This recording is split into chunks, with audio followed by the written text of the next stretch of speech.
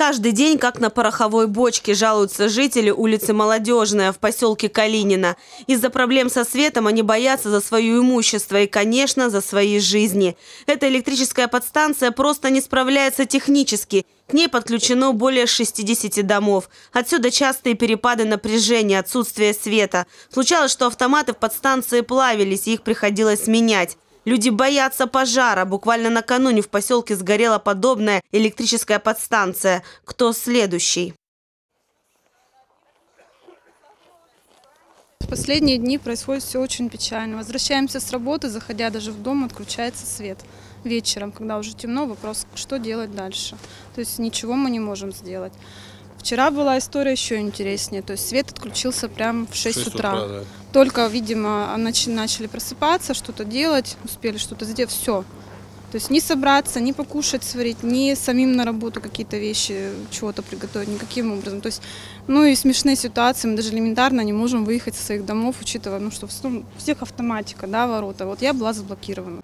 Что и говорить, на дворе 21 век и без электричества сегодня никуда. В частном доме все завязано именно на нем. Подача воды, приготовление пищи, работа электроприборов, системы отопления. Кстати, соседи Алексея уже выбросили свой телевизор, который из-за частых перепадов сети просто сгорел. Ну а началась эта история в 2008 году. Земельные участки в Калинино активно продавались. Люди строили новое жилье. Жители улицы Молодежная и двух других соседних улиц приобрели электроподстанцию, которую начала обслуживать тогда еще компания МРСК «Сибирь». Сегодня это республиканский филиал компании ПАО «Россети Сибирь». Несколько лет у людей не было нареканий к работе подстанции. Пока жителей и, соответственно, домов на улице не стало еще больше. К линии стали подключать дополнительных абонентов. Абонентов очень много подключено, это порядка 60 домов. В среднем посчитали у всех по 15, по 20 киловатт, то есть получается нагрузка на данную подстанцию идет порядка тысячи киловатт, хотя подстанция рассчитана на 400 всего, то есть она перегружена. Электрики приезжают, когда свет отключают, говорят, что мы можем сделать? Мы ничего не сделаем, у вас она перегружена. Включают автоматы, свет вышибает, они ждут 10-20 минут, опять включают, вроде работает. Вот. Там уже были моменты возгорания. По лету пыталась наша подстанция загореть. Мы просто переживаем, что она опять либо взорвется, либо загорит. Ну, мы совсем тогда останемся без света.